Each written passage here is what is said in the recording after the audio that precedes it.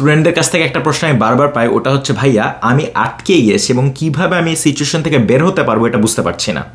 আটকে যাওয়া বা আমি আগাতে পারছি না, এই ফিলিংটা জীবন আপনার যে কোনো পর্যায়ে হতে পারে। এটা পড়াশোনার ক্ষেত্রে হতে পারে, এটা সামনে একটা ভর্তি পরীক্ষার, এটার প্রস্তুতির জার্নিতে হতে পারে, এটা আপনার চাকরিতে হতে পারে এবং এই সিচুয়েশনটা অনেক কমন আইবিএ হার্ভার্ড এরকম সকল টপ ইউনিভার্সিটিতে আমি স্টুডেন্টদেরকে বারবার দেখেছি এরকম একটা সিচুয়েশনে পড়তে এবং তখন তাদের প্রফেসর বা মেন্টরদের কাছে এই প্রশ্ন নিয়ে পরামর্শ যেতে এই পরিস্থিতি নিয়ে আমার একটা হার্ভার্ড প্রফেসরের সাথে কথা হয়েছিল এবং তিনি আমার সাথে চারটা উপদেশ শেয়ার করেছে, যেটা আমি আজকে আপনার সাথে শেয়ার করব, যেটা যখন আমি জীবনে আটকে গেছি, আমার অনেক কাজে লেগেছে।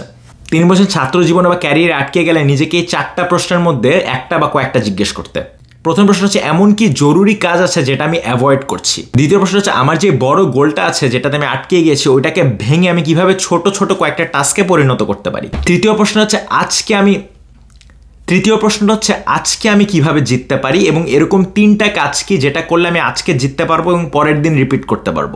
এবং চতুর্থ প্রশ্ন হচ্ছে, আমার কি বর্তমানে এমন কোনো হ্যাবিট আছে যেটা আমাকে আগানো থেকে বাধা দিচ্ছে? সো এই চারটা প্রশ্ন মাথায় রেখে আমি এখন একটা এক্সাম্পল দিচ্ছি। ধরো তোমার সামনে বুয়েটের ভর্তি পরীক্ষা আছে এবং তোমার মনে হচ্ছে আমি আগাতে পারছি না বা আমি আটকে এগিয়ে আছি। সো কীভাবে আমি এই চারটা প্রশ্ন ফলো করতে পারি? প্রথম কাজ হচ্ছে এমন কি কাজ আছে যেটা আমার করার জরুরি কিন্তু আমি অ্যাভয়েড করছি? বুয়েটের ভর্তি পরীক্ষার ক্ষেত্রে এটা হতে পারে তোমার একটা রুটিন বানানো লাগবে বা প্রথম চ্যাপ্টারের পড়াশোনাটা শুরু করা লাগবে। দ্বিতীয় প্রশ্ন হচ্ছে আমার বড় গোল যেটা হচ্ছে বুয়েটে চান্স পাওয়া, ওইটাকে ভেঙে আমি কীভাবে ছোট ছোট গোলে করতে পারি? তো বুয়েটে চান্স পাওয়ার জন্য হয়তো ফিজিক্স কেমিস্ট্রি ম্যাথ আছে, প্রত্যেকটার তিনটা করে বই আছে, প্রত্যেকটার চ্যাপ্টার আছে ওই চ্যাপ্টারের অনেকগুলো অঙ্ক আছে। এই সবগুলোকে ভেঙে প্রতিদিনের জন্য টাস্ক বানানো যায়। আচ্ছা আমি কেমিস্ট্রির প্রথম চ্যাপ্টারে এই কয়েকটা অঙ্ক করব। আমি যা অ্যাভয়েড করছিলাম, ওটা হচ্ছে রুটিন বানানো, একটা প্ল্যান বানানো, এটা কষ্ট করে বসে আমি আজকে করে ফেললাম। এরপরে আমার যে বড় গোলটা আছে, ওটাকে আমি ভেঙে ভেঙে কয়েকটা ধাপে পরিণত করলাম। তৃতীয় প্রশ্ন হচ্ছে, আমি আজকে কীভাবে জিততে পারব এরকম তিনটা টাস্ক বের করতে।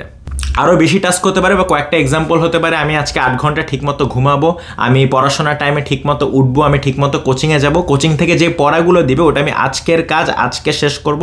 প্রথম চ্যাপ্টারের যদি কয়েকটা প্রশ্ন থাকে ওটা শেষ করব। আমি পড়াশোনাটা রিভাইজ দিব, আমি ওটা নিয়ে প্র্যাকটিস পরীক্ষা নিব। যা যা করা দরকার, আজকে ওগুলো আমি আজকে শেষ করব এবং পরের দিন আমি একই জিনিস রিপিট করব।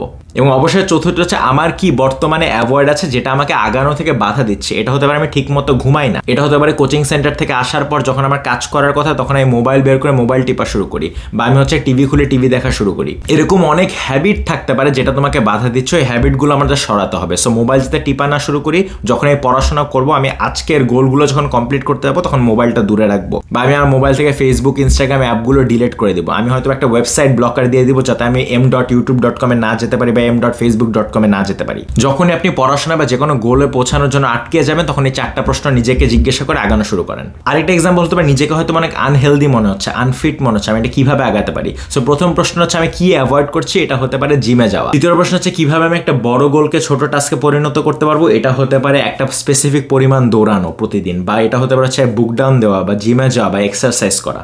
তৃতীয় হচ্ছে, আমি আজকে আমার গোলের জন্য কীভাবে জিততে পারি, ফিটনেসের জন্য এটা হতে পারে ঠিকমতো টাইমে খাব আনহেলদি খাবার কিছু খাব না এবং দুই কিলোমিটার দৌড়াবো। এবং পরের দিনগুলো এটা রিপিট করা লাগবে। এবং চতুর্থ হচ্ছে, কি হ্যাবিট আমাকে ইন্টারফেয়ার করছে, এটা হতে পারে কাজ থেকে আসার পর বারবার আমি ঘুমিয়ে পড়ি সো আমার দৌড়াতে বের হওয়া হয় না। বা প্রতিদিন কাজ থেকে আসার পর আমি হয়তো অনেক চিনি দিয়ে চা খাই ওটা আমার বাদ দিতে হবে। এরকম বিভিন্নভাবে আপনি যে কোনো গোলে আটকে গেলে চারটা প্রশ্ন দিয়ে আপনি এগিয়ে যেতে পারবেন। এটা আমার কাজে লেগেছে, আশা করি আপনার কাজে লাগবে। কিন্তু নিজেকে চেঞ্জ করার জন্য উইল পাওয়ার বা ডিটারমিনেশনটা থাকা লাগবে। যদি ওইটা না থাকে, এরকম চারটা প্রশ্ন বা হাজারটা ফ্রেমওয়ার্ক বা ভিডিও দিয়েও কোনো লাভ নেই। সেটা আশা করি মাথায় রাখবেন।